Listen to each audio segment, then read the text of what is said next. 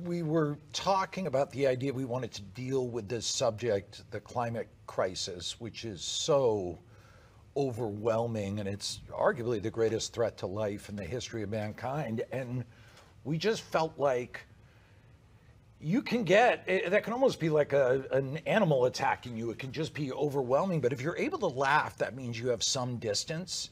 And I, I, actually think that's really important. You can feel urgency and you can feel sadness and you can feel loss while also having a sense of humor. And that was really the intention with this movie after the crazy last five, ten years we've all had across the planet was that, God, wouldn't it be nice to laugh at some of this and feel the other feelings? So that that was kind of the approach because I think we get hit with sort of the thumping doomsday uh, talk quite a bit, which, by the way, is totally legit when it comes to climate change. But uh, I did think it was important that that people be allowed to laugh and have some distance. It's also a great unifier too. You can't really fake laughter. It's not a political thing. They've tried, but it never really works whenever you try and fake that. So, yeah, that was kind of the thinking behind it.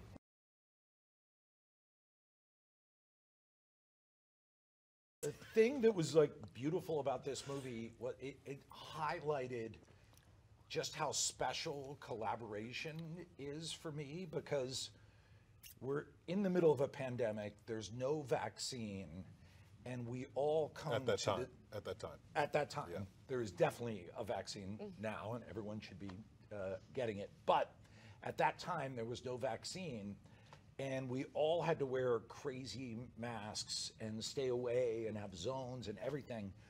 But everyone did it and found a way to be creative in a way that was like genuinely moving and touching and for me i feel like the whole time i've been working in movies or theater or tv or whatever that's the thing that i love the most and uh, and seeing this group do that was just like one of the more special experiences i've ever had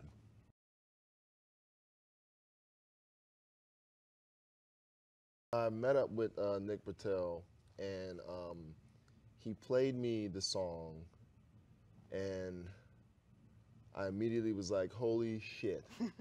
like this is, where do I fit? Do you even need me? Like, how, how do I approach this?"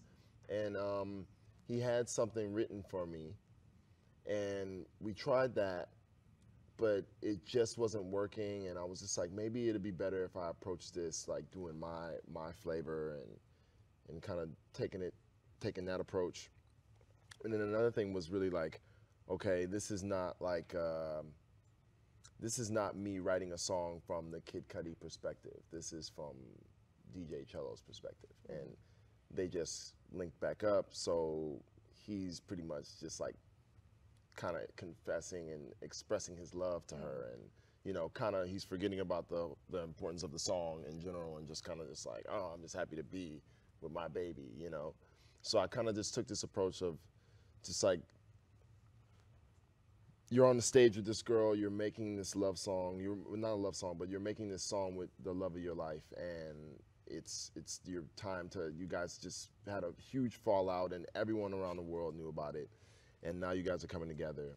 So it's kind of like this, kind of like the the reunion moment for me, you know. Um, but yeah, like it, it was it was intense at first because Ariana is such an incredible artist, and you know, um, her vocal performance is just like stellar. You know, it's like her voice is just amazing. I, I, I'm sure everybody can agree. Um, 100%. Yeah. so. Uh, I disagree. you know. Uh,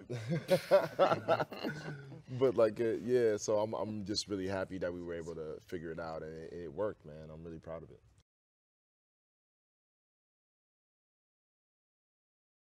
I'll just start right out of the gate and say he is an absolute genius, this young man, this friend of mine. his, his ability to improvise and take control of a scene and have the narrative be shifted in the most amazing, colorful ways is, uh, is, uh, is a sight to witness and something truly remarkable to experience. He's absolutely a genius. Love to work with him on a hundred more films. Amen. I've worked with now pretty much all the best actors in the world, a lot of whom are up here right now. Um, and there's been no more loyal friend or anything I've ever made in show business. And then aside from that, put all those feelings aside. The way what you see when they yell action and what he does, truly, no disrespect to anyone, nothing I've ever seen like it. Mm-hmm. That's all I gotta say. Like mm-hmm. hands down. Mm-hmm.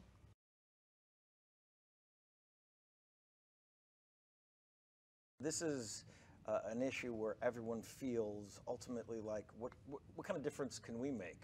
What can we contribute to this cause? And Adam really cracked the code with this with this narrative. I mean, there's so many uh, comparisons that we can make to the climate crisis with this storyline, and you know, as a whole, I think it's just it's probably the most important issue all of us could be talking about on a regular basis. And it takes artists like this to change the narrative, you know, to create conversation, and uh, like I, I, just an honor to be a part of it, really.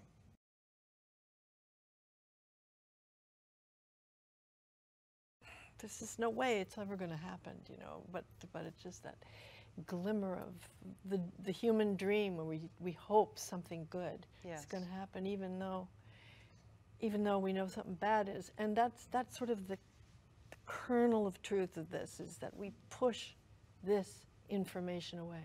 Smart people, people who don't have scientific background, everyone pushes it away because it's just It's just too painful. yeah, it's too painful. Yeah.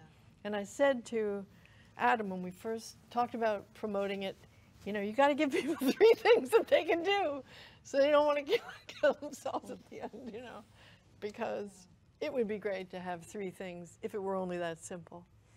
But one of them is obviously to vote for people who believe and understand the imminence of this threat to all of our lives rich people, poor people, everybody. Everything flows from this. Every every issue of injustice, inequity, everything. If we don't survive, none of it matters.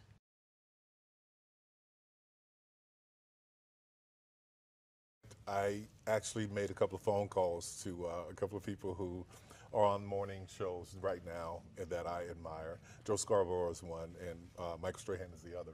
So I asked them, I actually sent them the part of the script. I said, why don't you read this and send it back to me on, on your iPhone? Just tape it. And they did, and I was like, okay, I got some bits here, I got some bits there, but those guys are, are professional journalists. I mean, I, I mean, this guy is, he's, he's the guy I played is not that. So it was it was uh, they were very helpful in, in pulling that off and helping me to pull that off.